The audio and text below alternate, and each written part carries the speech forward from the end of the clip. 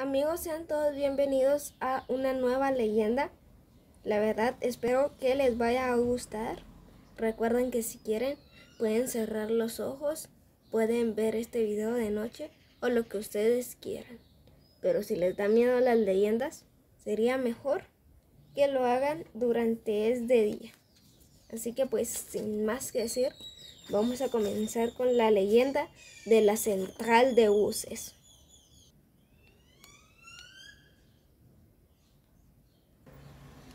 Hace muchos años sucedió un incidente en la central de autobuses en Tamaulipas, suceso en el cual un joven perdió la vida al salir volando por la ventana, ocasionando que su rostro quedara completamente desfigurado por los vidrios del autobús.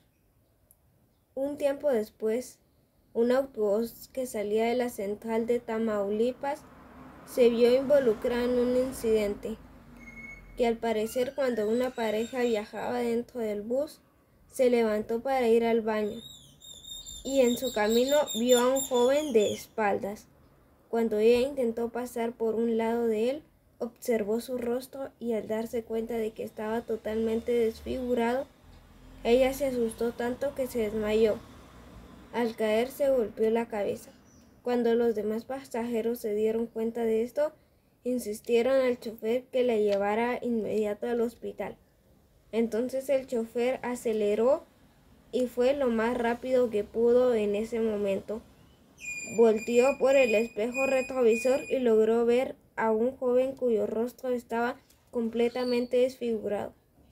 Pánico corrió por sus veras. No se percató de una curva y pues hubo un incidente en el cual el bus se cayó por los barrancos, amigos. La verdad, amigos, esta historia la verdad estaba corta y espero que les haya gustado mucho. Recuerden de que yo compré un librito de leyendas, así que pues nos vamos a estar viendo en muchas veces en pues leyendas. Así que sin más que decir, los dejo hasta aquí. Espero que les haya gustado la leyenda y los veo en el próximo video.